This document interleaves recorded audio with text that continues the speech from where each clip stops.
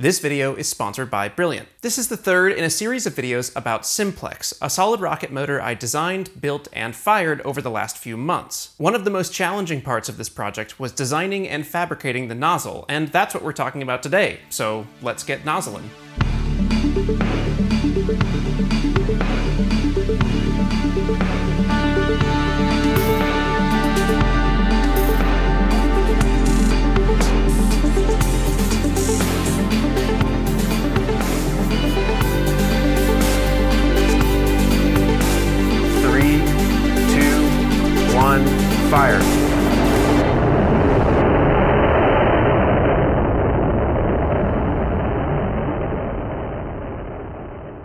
Rocket motor, whether it's liquid, solid, or the worst of both worlds, a hybrid, needs a nozzle in order to operate. This video is not really about nozzle theory, there are lots of resources about that on the internet, but here are some basics. For any rocket motor, the goal of the nozzle is to take those hot gases inside the combustion chamber and accelerate them to a supersonic velocity, or above Mach. That's part of why we call these things here Mach diamonds. And this is like fundamentally why rockets work. We want to throw as much stuff as possible out the back of the rocket motor, and a well-designed and well-made nozzle helps us do that. Let's take a look at a cross-section here. Inside of the rocket motor, we have all of this hot gas that's at a high pressure and it's moving fairly fast. But if we've done our design correctly, that gas should be subsonic, or below the speed of sound. When the gas hits the top of the nozzle, we need a converging section to guide that gas into a smaller cross-sectional area, and this will increase the velocity gas and decrease the pressure. The reason this happens is because of some guy named Daniel Bernoulli, who in the 1700s was like, uh, so if there's some gas and it's moving pretty slow, and if the pressure is pretty high, I would bet that if you took that gas and started moving it faster, the pressure is probably gonna drop lower.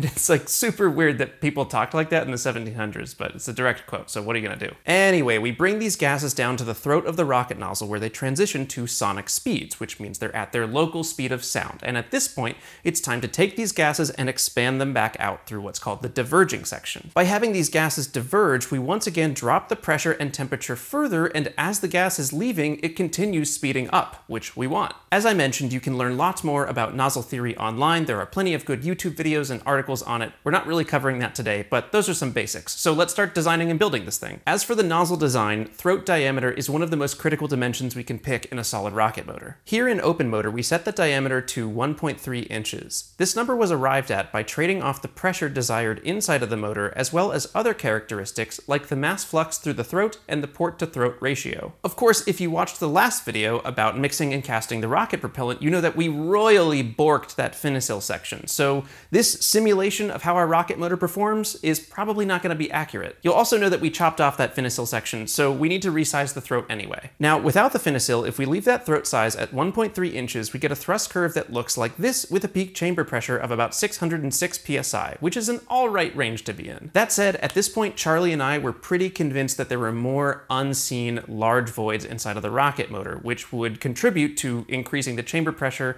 and increasing the burn rate of the motor, both of which are, you know, a little spooky. Our case bursting pressure is 1400 psi, but that's in the best of cases and assumes everything goes to plan. So out of an abundance of caution, I opted to open up the throat to 1.45 inches, reduce our performance, and shoot for a peak chamber pressure of 440 psi. This is fairly low, but as we're all aware at this point, the goal of Simplex isn't to build a high performance motor, it's to build a motor that doesn't blow up. And 440 gives us plenty of margin in case we hit a couple of voids in there. All right, now using Onshape and looking at a cross section, I designed this nozzle out of three separate materials. We have the aluminum nozzle carrier, the phenolic nozzle insulator, and the graphite throat. To recap, the aluminum carrier provides a strong mechanical way to hold the nozzle inside of the case with those radial bolts, and it provides a smooth, non-porous surface for those O-rings to seal against. The phenolic insulator ablates away, and it protects the aluminum of the nozzle from seeing any of the hot gas, and it also protects the aluminum from seeing any of the heat from the graphite throat,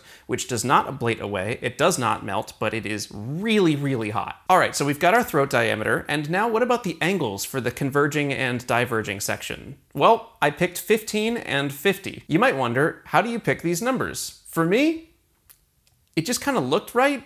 I don't know, like it's rocket science, and also at some point you gotta pick some numbers and run with them. There is actually math that goes into picking the right angles for your nozzle, but I'm not getting into it, and again, at some point you just gotta pick some numbers that look right and start building. I bought this thick, super fine iso-molded graphite rod that was 4 inches in diameter and about a foot long.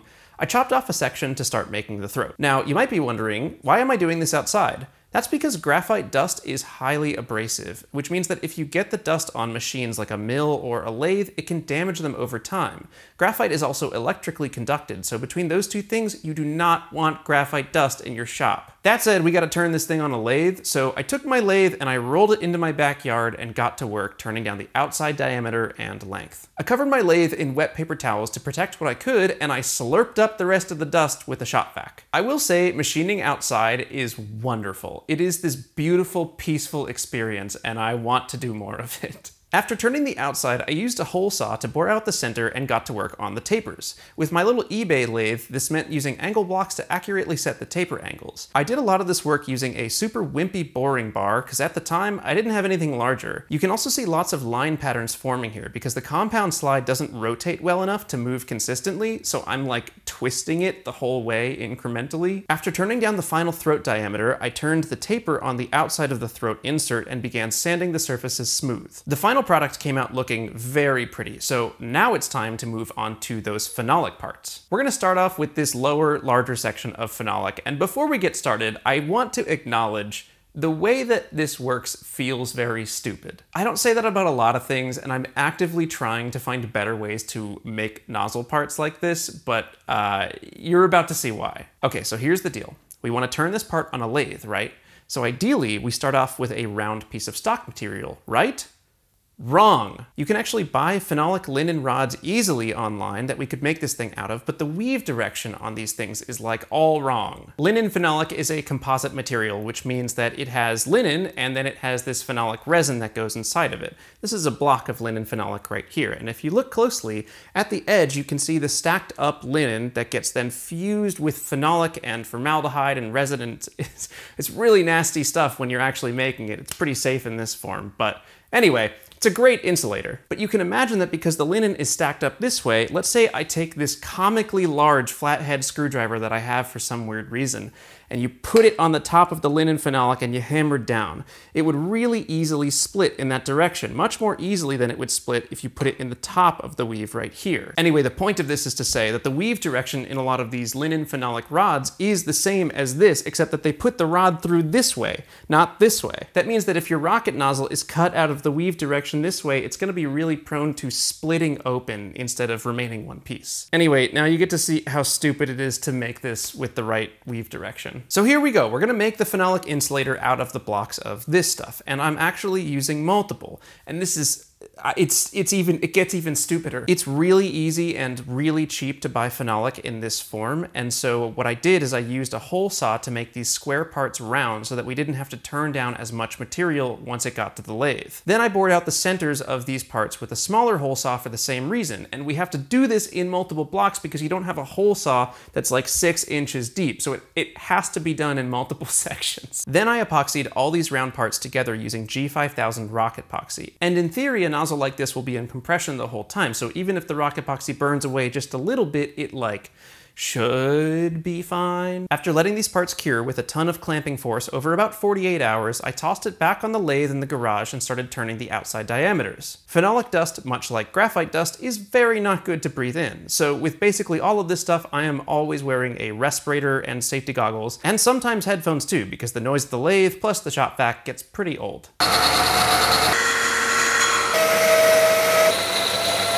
For this, I'm still using that wimpy boring bar. By now I had ordered a beefy one, but it just hadn't arrived yet. Turning the inside tapers here was a tricky process since all the angles are slightly different, but after I finished the inside geometry, I went back to the outside to turn the taper to fit it inside the nozzle carrier. And after that, the part was done, so now we will do the nozzle top insulator. This part was fairly simple. First, I turned the inside lip that fits over the graphite insert, as I went, I checked the dimensions against the CAD file, but most importantly, I checked the dimensions against the actual parts. When you have something like this that's a one-off one-off production, it's good to start out by following the CAD, but as the part builds up, it's better to follow what the part needs, because tolerance errors can sort of stack up. I then used my newer, slightly stronger boring bar to turn the top taper, and once that was all done, all of our phenolic parts are finished. Lastly, we need to turn the aluminum nozzle carrier, which started out as a real short, thick section of 6061 tubing. This was another process that I would consider to be kind of stupid. Okay, so my eBay lathe can turn up to six inches in diameter, right?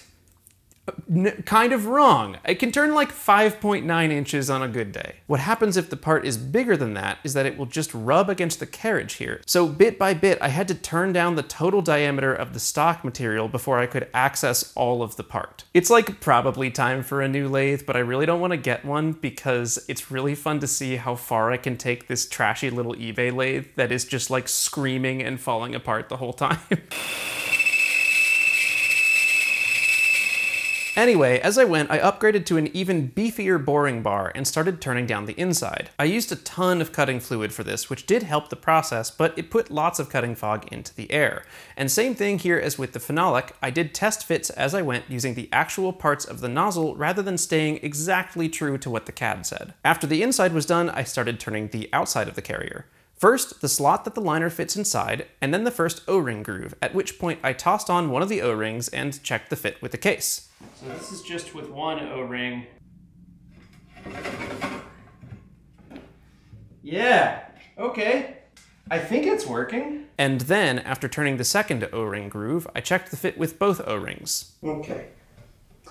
There's one. All right, second O-ring. Oh. Okay, there's one side. And there it is. Woo! It's in there. That's my nozzle. And honestly, it's a pretty good fit. Like, I'm I'm feeling all right about this. I feel like it's gonna seal.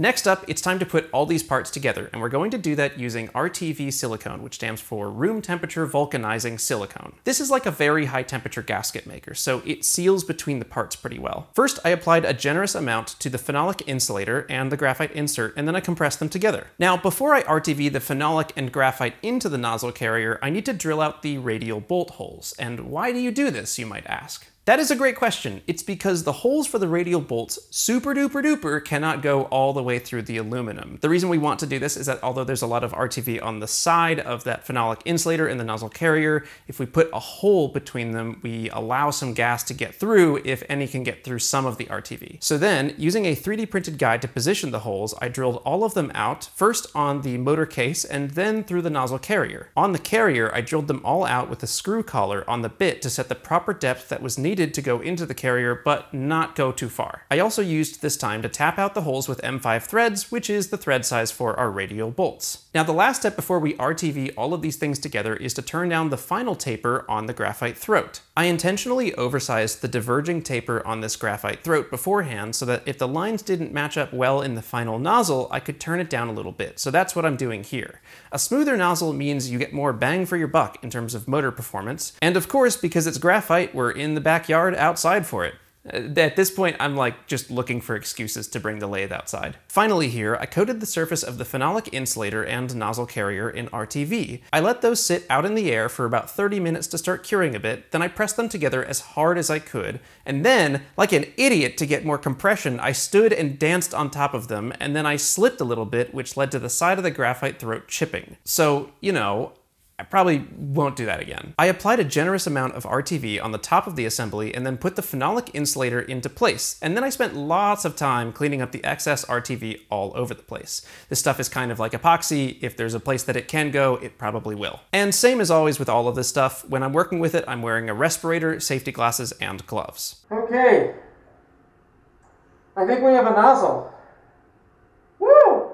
And as far as nozzle things go, that's just about it. In the next video, we're going to talk about the opposite end of the rocket motor, which is the forward closure. This is the part that holds all of the pressure in at the top, but it also holds the rocket motor igniter, and it holds those pressure transducers that we can use to measure the pressure inside of the chamber. But before we get there, I'd like to thank the sponsor for today's video, which is Brilliant. Folks who have followed this channel for a while might already know about Brilliant. But for those who don't know, Brilliant is an online interactive platform focused on the idea of learning by doing, which is why I'm like stoked to work with them, because that's kind of my whole thing. Iterative design and building skills through actual experience is like one of the core things that I believe in, and it's a foundational thing for Brilliant as well. Brilliant is one of the best ways you can learn math and computer science interactively, and more specifically than that, Brilliant is great for building analytical skills, which is more powerful than learning specific formulas or equations.